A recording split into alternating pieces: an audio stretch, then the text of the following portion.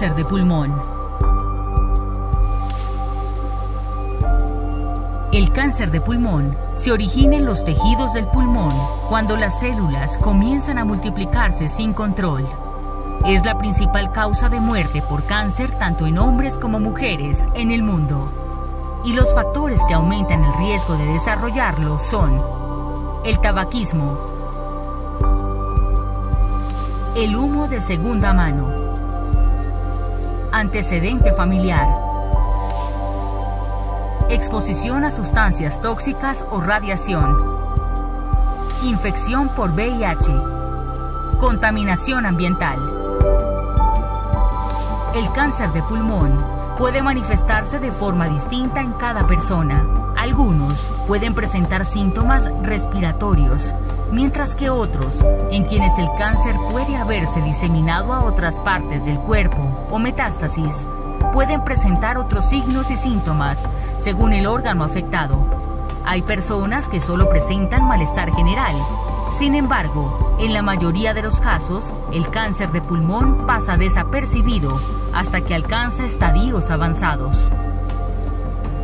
Algunos síntomas pueden incluir dolor o molestias en el pecho, tos que no desaparece o que empeora con el tiempo, dificultad para respirar, sibilancias, flema con sangre, ronquera, pérdida de apetito, pérdida de peso sin causa aparente, fatiga, dificultad para tragar, hinchazón en la cara o venas del cuello.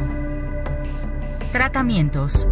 El cáncer de pulmón tiene distintas opciones terapéuticas que dependen del tipo de célula de origen y de cuánto se haya diseminado el tumor. En términos generales, las personas con cáncer de pulmón pueden ser tratadas con cirugía, quimioterapia, radioterapia, terapia dirigida o una combinación de estos tratamientos. Aunque las opciones de tratamiento para el cáncer de pulmón se basan principalmente en el estadio de la enfermedad, otros factores tales como el estado general de la persona, la función pulmonar, la susceptibilidad genética, así como ciertas características del cáncer en sí, también son importantes. Si usted fuma, uno de los requisitos más importantes para que el tratamiento sea efectivo es dejar de fumar. Los estudios han demostrado que los pacientes que dejan de fumar después de un diagnóstico de cáncer de pulmón suelen tener mejores resultados que aquellos que no dejan de fumar, por tratarse de uno de los principales factores de riesgo de la enfermedad. Para más información sobre el cáncer de pulmón, visita nuestro sitio especializado, donde encontrarás la mejor información para tomar el control de tu condición en www.medicinaysaludpublica.com. Recuerda, en MSP te queremos saludable.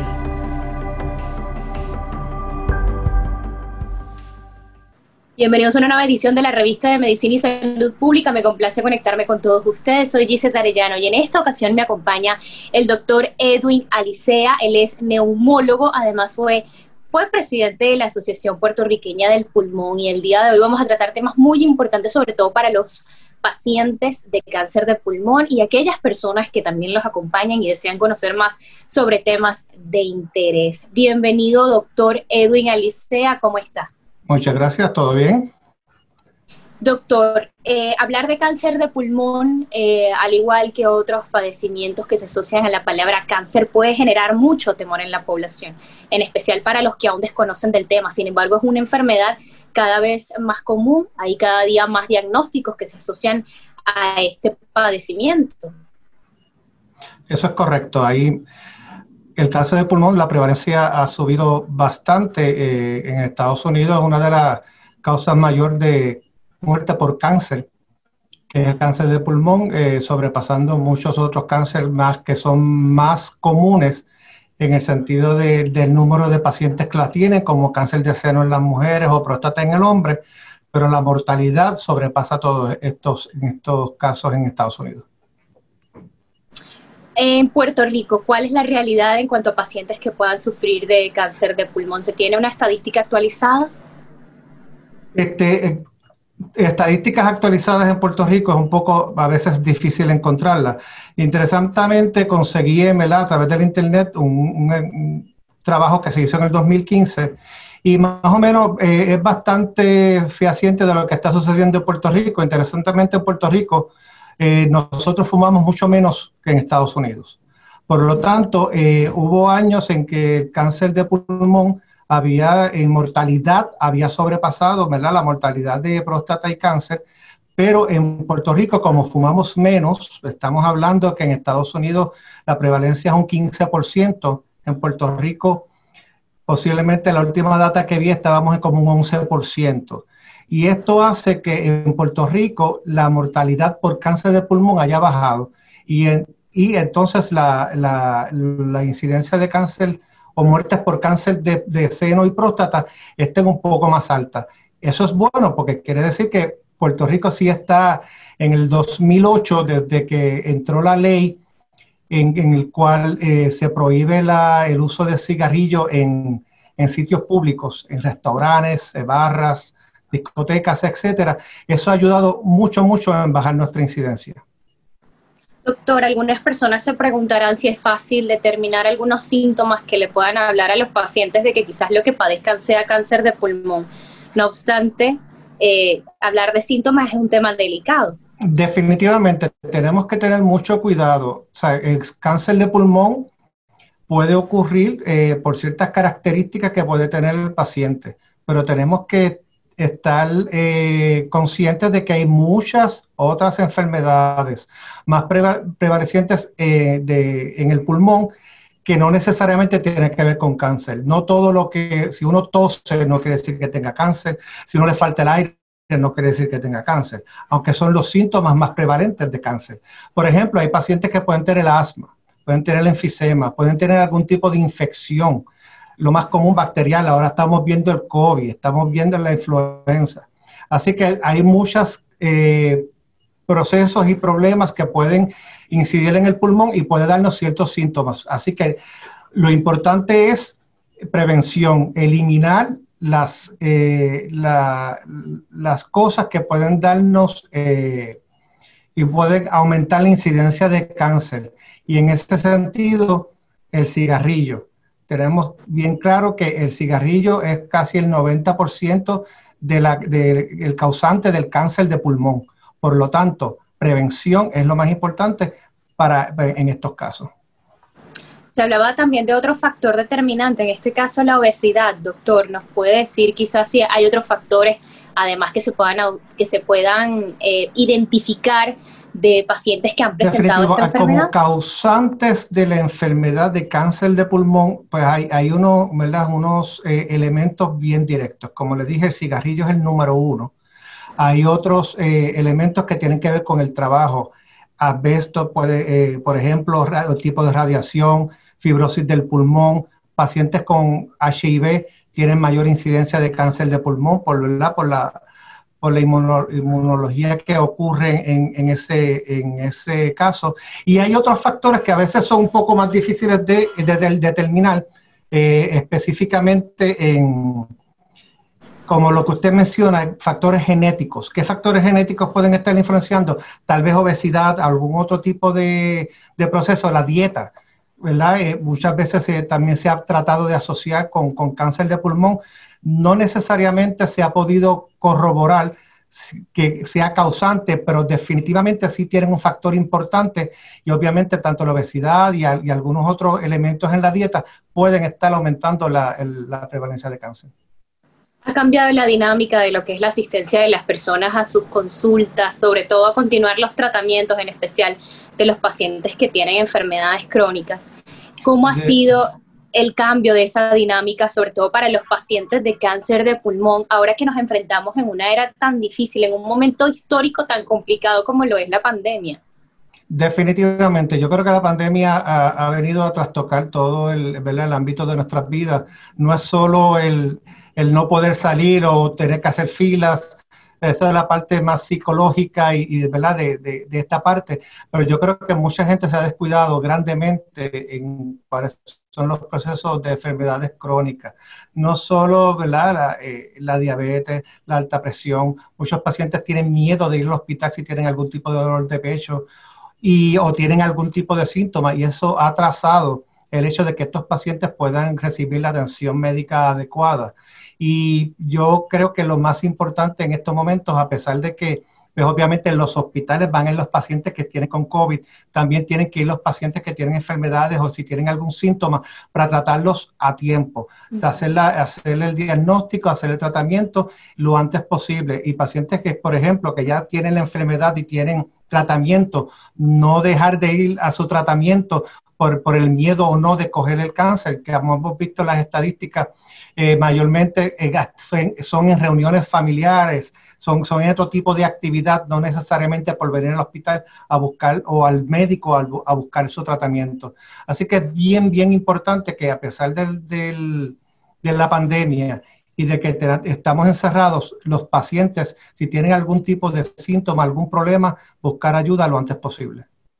¿Cuáles podrían ser algunas recomendaciones para prevenir, eh, verdad, eh, el cáncer de pulmón y en especial eh, para prevenir además tener que llegar a un diagnóstico tardío, porque a veces las personas pueden presentar algún tipo de sintomatología y deciden esperar y el tiempo es un factor determinante.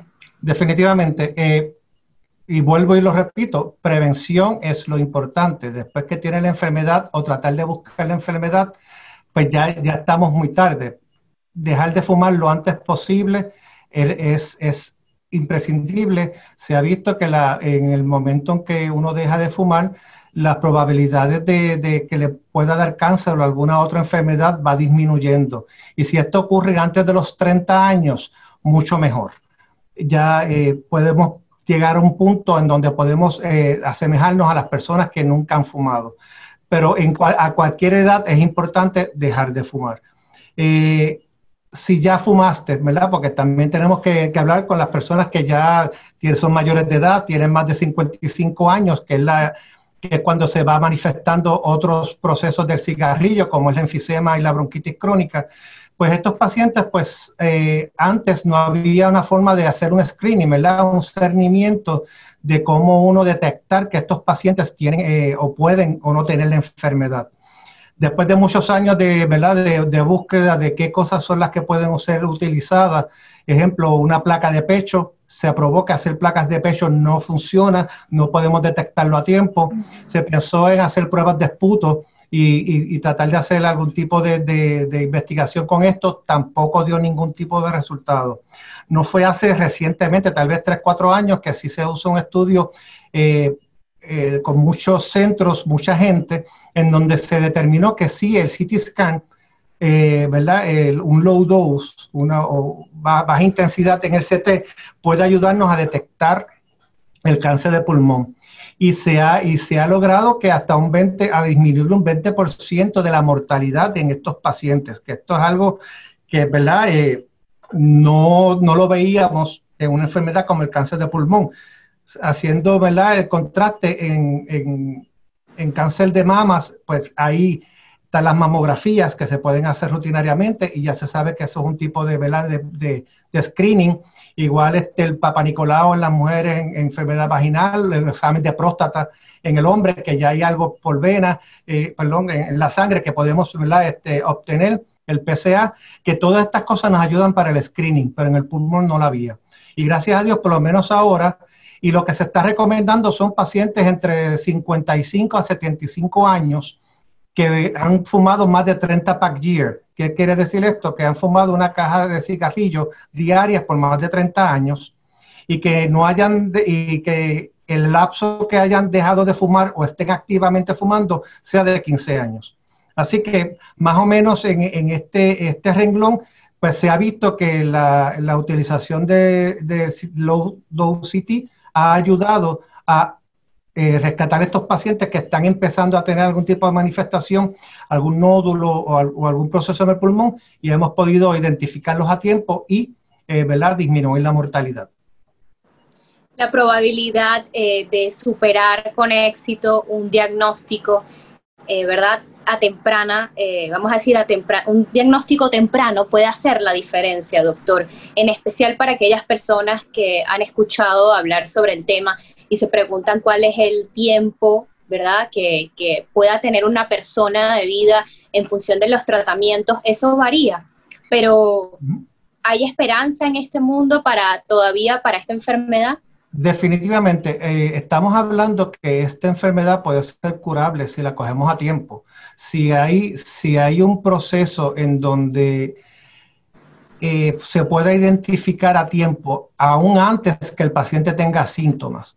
Y ahí es donde tenemos el problema. La mayoría de los pacientes van al médico porque tienen síntomas, tienen tos, les falta el aire, eh, cuando eh, tosen puede tener un poco de sangre, tienen muchas secreciones cuando están tosiendo, eh, pueden tener algún tipo de dolor de pecho, etcétera. Cuando ya llegamos a estos síntomas, ya sabemos que tenemos tal vez algún tipo de proceso en donde está un poco más adelantado. Por eso el cáncer de pulmón era bien difícil de curar o la mortalidad era bien alta, porque en el momento en que lo estamos diagnosticando ya estaban en unas etapas de tan adelantadas que no era posible curarlo. En la medida que se ha podido y en la medida de que uno, la prevención, dejen de fumar la gente y obviamente quitamos el factor de riesgo. Y en la medida que hagamos el screening a estos pacientes eh, y lo podamos detectar en ya cuando todavía es un nódulo, no, es una masa, pues eso puede ser eh, posiblemente hasta curable en un momento dado que lo podamos eh, resectar el, el parte del pulmón y, literalmente lo curamos, y eh, o podamos identificar eh, el tipo de, cáncer a tiempo, porque ya hay otros medicamentos nuevos. ya antes también eh, ha evolucionado en los últimos años el tipo de tratamiento que se cáncer de pulmón y ya estamos dirigiendo este tipo de tratamiento a los cánceres en específico. Y pues ha ayudado. O sea, la, mortalidad eh, desde que yo tal vez hace 25 años que empecé la medicina y, vemos eh, al principio literalmente la mayoría de los pacientes se nos morían. Ya estamos hablando pacientes en etapa 1 o etapa 2, están, pueden estar hasta un 80% eh, por ciento vivos a los 5 años. Y esos son números buenísimos que antes no los veíamos. Así que sí se ha hecho progreso, pero depende mucho como ha hecho la gente en Puerto Rico, fuma mucho menos, es lo importante, y empezar entonces a hacer estos screening con tiempo para detectarlo a tiempo a estos pacientes que tengan alto riesgo. Esto no es para todo el mundo. Aquí se ha tratado eventualmente eh, eh, hacer CT de rutina a todo el mundo, a todo el cuerpo, para ver si tienen algún tipo de, de detección y eso se ha demostrado que no funciona. Y cualquier prueba que se haga sin indicación no va a funcionar pacientes de alto riesgo, un paciente fumador, paciente con la edad específica, que haya dejado en un tiempo en específico, se ha visto que esto lo ayuda. Así que eh, por lo menos eh, eh, estamos, estamos encaminados a, detectarlo con, mucho más con mucha más anticipación. Para los pacientes de cáncer de pulmón, doctor, probablemente la dinámica de sus vidas cambia y a veces es difícil eh, entender un nuevo diagnóstico y adecuarse a los tratamientos a los que deben someterse. No obstante, es importante que evalúen quizás eh, rodearse de los profesionales adecuados y tener un equipo interdisciplinario. ¿Considera que esto también forma parte exitosa de la curación de los pacientes? Definitivamente. Como, como habíamos dicho, no todo paciente que fuma va a desarrollar cáncer. No todo paciente que fuma necesariamente va a desarrollar algún tipo de enfermedad relacionada al, cáncer. Pero si estos pacientes tienen factores de riesgo, deben eh, a temprana edad uno eh, buscar la ayuda eh, correspondiente. El neumólogo no solo es para el momento en que vamos a tener que diagnosticar un cáncer, todo lo, todo lo contrario. Nosotros tratamos de hacer prevención. Pacientes que están tratando de dejar de fumar, el, médico que va, que puede ayudarlo, ¿verdad? Podemos, ser nosotros en tratar de crear una, un tratamiento donde puedan dejar de fumar lo antes posible, que otros factores de riesgo se, eliminen, tratar de controlar las otras enfermedades que pueden estar relacionadas al cigarrillo, como eh, sería el enfisema o la, la bronquitis crónica o sería el los COPD. Eh, pacientes que puedan tener eh, algunas otras enfermedades que se ven afectadas por el hecho de, de, otros pacientes, procesos ambientales como el asma, que le afecta los pacientes asma y el cigarrillo tampoco eh, combinan muy bien. Así que, y, detectar otro tipo de cáncer. Acuérdense que el cigarrillo no solo es, cáncer de pulmón, cáncer de vejiga, cáncer de seno, otro tipo de cáncer de cabeza y cuello. Hay otros tipos de cánceres que pueden eh, detectarse a tiempo y si lo dejamos. Así que el médico, definitivamente el neumólogo en particular, va a ayudarlos a que puedan identificar cuáles son los procesos, cuáles son los síntomas y tratar de, ¿verdad? de estar, eh, ayudarlos a, prevenir que tengan la enfermedad. Muchísimas gracias, doctor, por concedernos estos minutos. Conversamos con el doctor Edwin Alicea. Él es neumólogo, además expresidente de la Asociación Puertorriqueña del Pulmón. Gracias por acompañarnos. Seguro, a la orden. Esperamos que todos ustedes continúen con nuestra programación del día de hoy. Les agradecemos por conectarse con todos nosotros. Soy Gisette Arellano y será hasta una nueva oportunidad.